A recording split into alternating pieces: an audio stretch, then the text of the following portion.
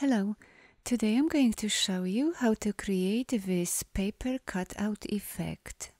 Let's open a new document, get rid of this stroke and change the fill to this simple gradient. Here are the color groups I will be using today. Now draw a rectangle to cover the artboard.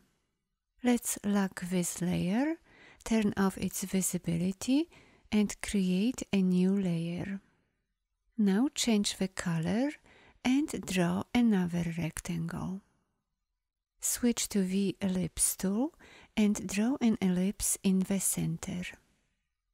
Then select everything and choose the Shape Builder tool. Now press and hold down the Alt key to switch to the minus option and click in the center to create a compound path. Next, we'll make a copy.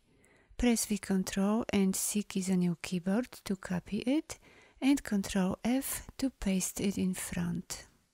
Let's change the color of this compound path and lock the bottom layer to prevent it from shifting. Next, using the lasso tool, select all the anchor points of this ellipse. Then switch to the selection tool and scale it up.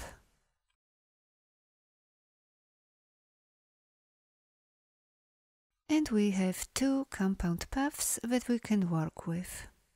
With the brown compound path still selected, use the pen tool or the curvature tool, whichever one you prefer, and change the shape by adding, deleting or moving the anchor points. Use your imagination and create anything you like. When you are done, lock this layer, then unlock the bottom layer and do the same. You can always come back and adjust it later. When you are finished, unlock the tab layer and select both layers. Then go to Object, Blend and choose Blend Options. Change the spacing to specified steps and type 3. The higher the number, the more layers you will have. Then go to Object again, Blend and choose Make.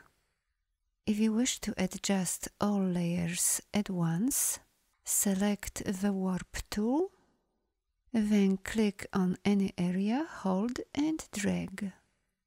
To adjust the size of the brush, double click on the warp tool and change the width and the height value.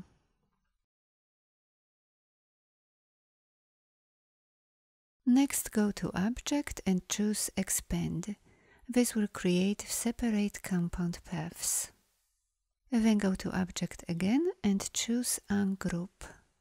I'm going to apply different shades of blue to each compound path.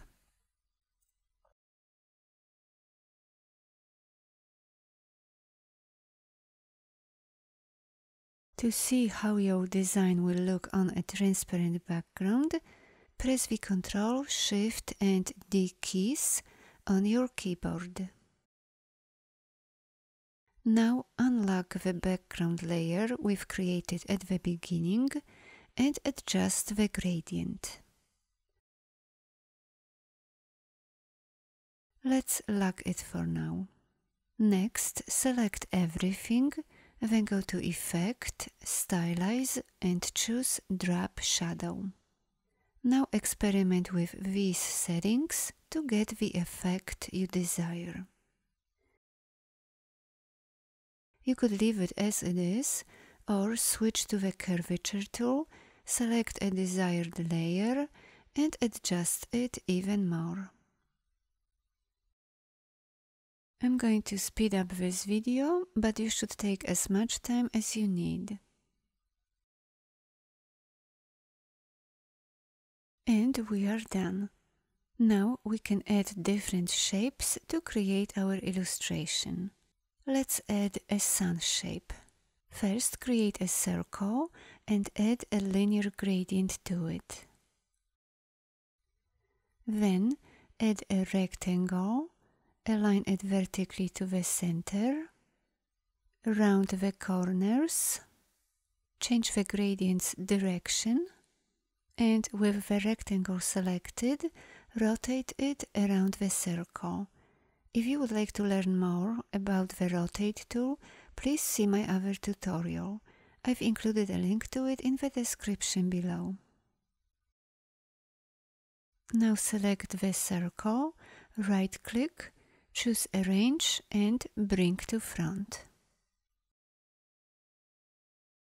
Group all parts together, place it over here and drag this layer to the bottom. Then go to Effect, Stylize and apply Drop Shadow.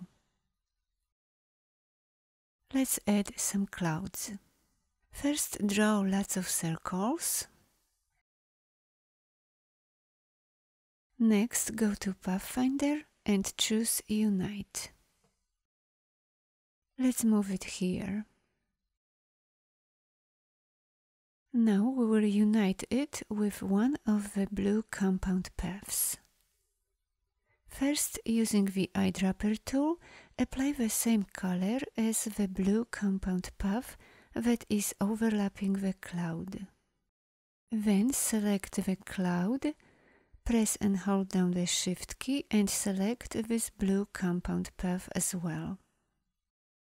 Next go to Layers and drag the selected cloud layer just above the selected compound path layer. Then go to Pathfinder and choose Unite. You will notice that the drop shadow disappeared. To bring it back, go to Effect, Stylize and choose Drop Shadow. And we can keep adding more shapes to create our desired composition.